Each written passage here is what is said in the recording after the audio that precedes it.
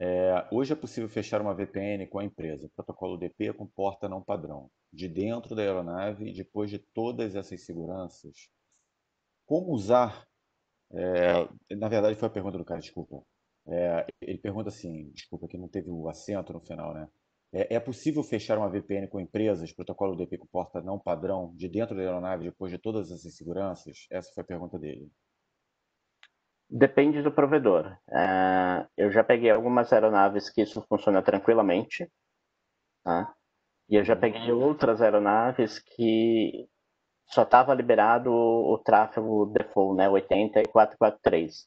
Aí uma VPN teve que ir para uma VPN SSL, mas foi tranquilo. Tá. tá. Uh, o Evandro Nascimento ele compartilhou um link no Q&A, tá? É um evento ATCA uh, Presence Aviation Cybersecurity, que ocorrerá em outubro, para quem quiser saber um pouco mais do assunto. Uhum. A Kellen, Kellen Bonassoli, desculpa se eu estiver pronunciando errado. Tiago, existem setores ou nichos que são classicamente mais vulneráveis? A impressão que tenho é que só as empresas de tecnologia pensam em segurança e que a pandemia fez muita empresa se reinventar para o digital e não pensou muito em segurança. É, eu acho que isso é totalmente factível. A gente teve um. Na verdade, isso já é um, um, um cenário que ocorre há bastante tempo, né? Se você pegar a área da saúde, sofreu absurdamente agora com relação à pandemia, porque é uma área que investe pouquíssimo em questão de segurança. Então, se você olhar os incidentes de segurança de ransomware, é, de vazamento de dados, de ataques de negação de serviço a, a sistemas na área da saúde foi algo bastante sofrível. Uh, outros segmentos uh, têm um investimento maior, principalmente aqueles que tocam no setor financeiro, né, já é um setor que é bastante maduro nesse sentido, mas a gente tem o, a premissa de que as pessoas, infelizmente, só aprendem na dor. Né? E, e, isso na área de segurança é inevitável. Então, algumas empresas aprenderam na dor aí a ter que investir e, e montar as, a, as questões de segurança. Né? Eu, a gente tem muita empresa que migrou para o home office, migrou para a estrutura de home office, sem nenhum tipo de preparação. Então, o cara subiu o servidor em nuvem, bota RDP e. Manda o, bala, né? É, importante é deixar operacional, a segurança vem depois. E o depois não vem porque o dia a dia toma, o, o cara ele não consegue fazer aquela estrutura adequadamente. Então. É que foi na, na, base do Vai Corinthians, né, meu? Ah, total, total. O Luciano tem uma outra pergunta aqui, ó, do Luciano Carvalho. Ele fala: qual o maior desafio em testes de segurança em sistemas de controle das aeronaves, visto que utilizam tecnologias embarcadas? Repete que picotou um pouquinho, Nelson. Qual o maior desafio em testes de segurança em sistemas de controle das aeronaves, visto que utilizam tecnologias embarcadas? O maior desafio para nós, principalmente, foi entender a tecnologia. Como eu falei, a gente passou dois dias é, entendendo como que era a aeronave, como que eram as interconexões entre elas, os tipos de rádio. Depois foi quase duas semanas dentro da empresa, baixando material, baixando paper, é, buscando exploit, buscando vulnerabilidade, planejando ataques possíveis, o que, que não seria possível, para daí sim fazer os testes. Né? Eu, eu, faço uma comparação muito com a questão dos testes nas urnas eletrônicas. Né? É, é algo que pouquíssimas pessoas tiveram acesso, está aí o teste público para qualquer um submeter lá e fazer, mas assim, a janela de tempo é muito curta, você tem que mandar um plano de testes e já definir tudo certinho o que, que você vai validar. Então, acho que o mais difícil para nós foi entender toda essa tecnologia, uhum. planejar isso para fazer a execução, né? Aquela 80-20, né? Normalmente a gente vai 20-80, esse foi um caso de 80% de planejamento e 20% de execução. Show. O Evandro Nascimento... Quem aqui da, da Fernanda Lima, não sei se você já já falou, não? Já passou? Não, não, não, não, não. A Fernanda pergunta o seguinte: se é possível acessar dispositivos que estão no, no porão da aeronave, dentro de bagagem. Se ele tiver conectado no Wi-Fi da aeronave, sim, mas eu acho difícil porque uh, normalmente dentro da bagagem você deixa o device desligado, né? É, principalmente com o device ligado dentro da bagagem, no raio-x já grita isso normalmente. Então a chance da sua mala ser aberta, principalmente pela TSA, e passar por uma inspeção minuciosa, seria bastante alta ali. Mas assim, pensando que esse device já conectou naquela Wi-Fi, já está é, gravado as condições dele e ele já faz um autoconnect está tá energizado ali, a partir do momento que ele está dentro da rede sem fio uh, da aeronave, ele é mais um device ali. Um, daria, na teoria daria, na prática teria que testar. Você, Nelson, a próxima aqui. É, tem uma pergunta aqui do Evandro, cara, que ele fala o seguinte, o Evandro do Nascimento, foi o mesmo que compartilhou o link lá do, do Q&A que eu acabei colocando aqui também novamente. É, ele fala o seguinte, já chegou a fazer análise em aeroporto, área de embarque? Qual a sua impressão baseada na sua experiência? Ainda não, nós não chegamos a fazer testes na área de embarque.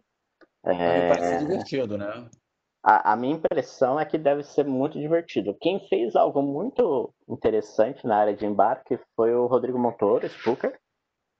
É, um tempo atrás já, acho que ele apresentou, inclusive no Shadow Sheriff, falando disso, sobre a, fazer o discovery do device usando Wi-Fi. Então, saber quem era o dono daquele device usando o, broadcast do próprio device. Então, você pega o iPhone, por exemplo, aparece lá, iPhone de Thiago.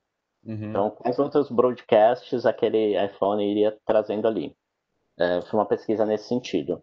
Mas, cara, é um parque de diversões absurdo ali, né?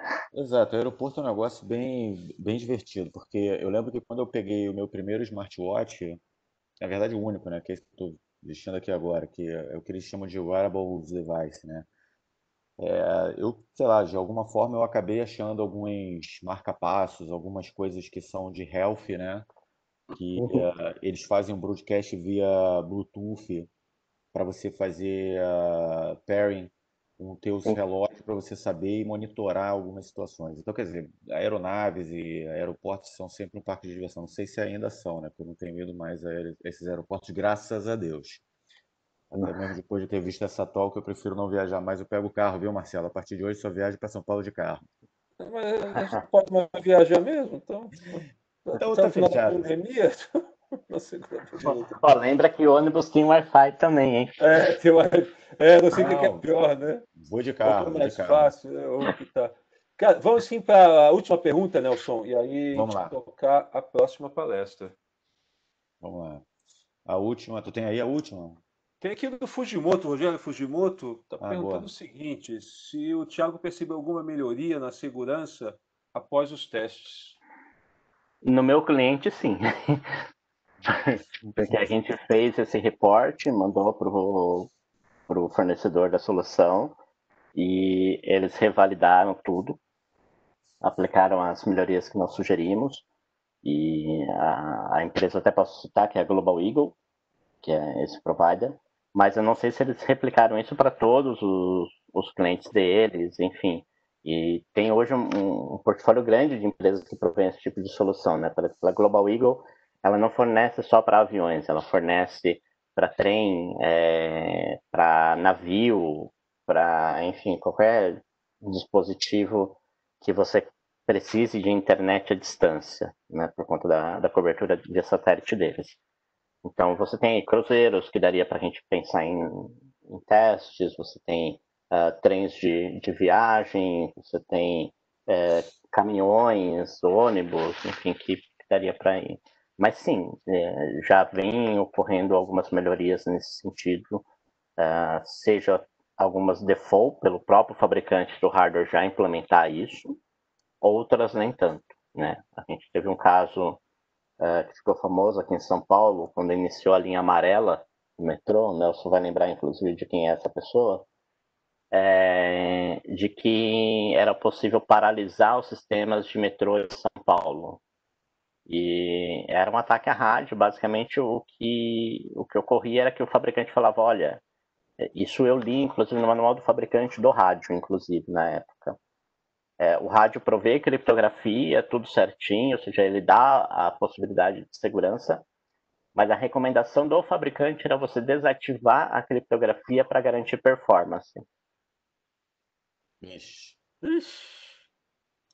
Então, assim, é um negócio bem controverso. Hoje o cenário está bem diferente. Hoje você já pega uh, qualquer roteador residencial já sobe com WPA2, já, já tem um, um assim, um, um baseline de segurança interessante.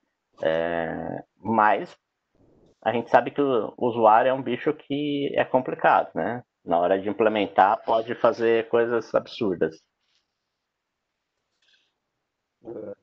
Eu queria agradecer mais uma vez a participação do Gordini. Eu lembro de ter conversado com ele nessa época que ele estava começando a fazer esses trabalhos aí. Foi, a gente se encontrou no aeroporto, por coincidência, chegando na GREC, lá em Belo Horizonte. Sim. E graças a ele, eu, toda vez que eu, que eu entro no aeroporto, na, na aeronave com meu vape, alguém vira para mim e fala: O que, que é isso aí, meu senhor? Cara, obrigado, Bordini maravilhoso o conteúdo. Adorei os memes. Eu aprendi a como fazer uma talk de avionics hacking com memes. Adorei os memes. E vamos dar seguimento. Quem quiser entrar em contato com o Bordini, o Bordini vai continuar com a gente aqui, acho que durante o evento, durante o dia. Pode falar com ele. Eu tenho certeza que ele vai responder a qualquer comentário, qualquer pergunta que vocês enviarem para ele. Bordini, mais uma vez, obrigado. Obrigadão. Gente, Marcelo, Nelson, todo mundo, um abraço. Fiquem seguros. Um abraço. irmão. Marcelo, é contigo.